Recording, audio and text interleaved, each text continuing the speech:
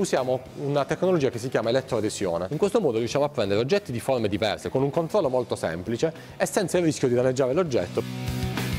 Politecnico di Bari nel Dipartimento di Matematica, Meccanica e Management, una delle eccellenze riconosciute dal Ministero dell'Università e della Ricerca. Il Politecnico è una bellissima realtà che adesso sta diventando un hub di, di innovazione non soltanto appunto di ricerca e educazione ma anche di innovazione tecnologica. Lavoro con, con l'MIT Boston dove sto seguendo un team che sta sviluppando con me queste stesse tecnologie, con l'IPFL in Svizzera. Siamo diventati un polo di attrazione di talenti esteri oltre a cercare di mantenere quelli locali.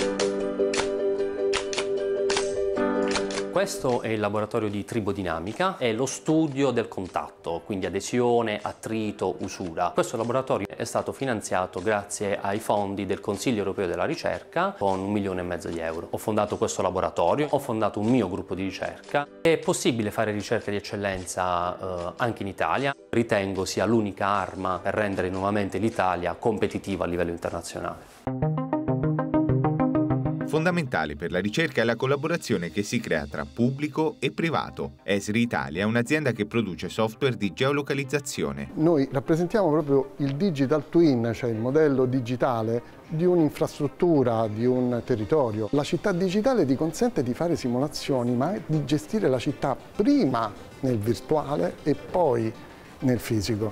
Quanta ricerca c'è dietro a questo? Con eh, l'Università di Tor Vergata. Abbiamo preso 100 ragazzi neolaureati e li abbiamo avvicinati alle nostre tecnologie. Alcuni di questi arrivano da quell'esperienza, alcuni sono stati eh, assunti dalla, dalla, nostra azienda, dalla nostra consociata e oggi sono diventati dei professionisti esperti del settore.